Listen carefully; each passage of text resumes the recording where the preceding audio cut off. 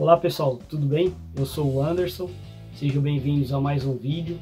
Como vocês já sabem, nós estamos numa luta sindical em prol do aumento salarial e também do bônus.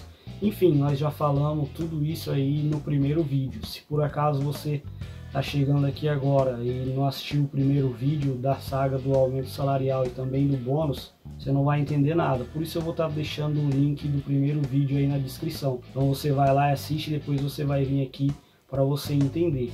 Esse vídeo aqui é mais um aviso, né? Eu estou sendo o mais breve possível, dizer para vocês que as empresas elas já sinalizaram e essa semana nós vamos ter já a primeira reunião em prol aí desse aumento salarial e do bônus. Isso vai acontecer tanto na Fujiarte quanto na Avança. Para vocês entenderem perfeitamente, vou colocar a seguir um comunicado oficial do sindicato.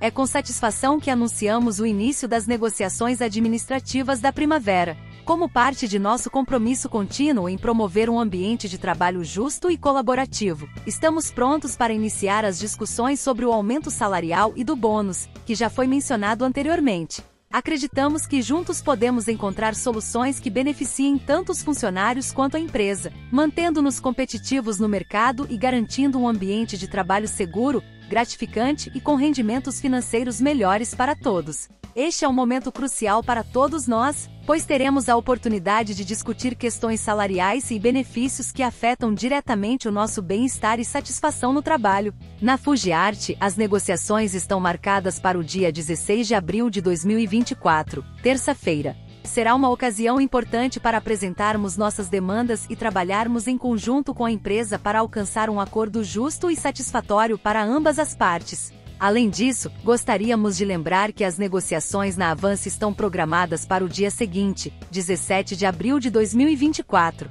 Este é um momento crucial para todos os funcionários, onde poderemos expressar nossas preocupações e aspirações em relação às condições de trabalho e benefícios oferecidos. Fiquem atentos para mais atualizações sobre as negociações. Agradecemos antecipadamente pela sua atenção e confiança. Sem mais. Sindicato dos Trabalhadores de Hiroshima. Para você que assistiu, muito obrigado. E eu gostaria de salientar também que esse canal aqui, o Anderson no Japão, é o canal oficial que está tratando desse assunto, do aumento salarial e também do bônus.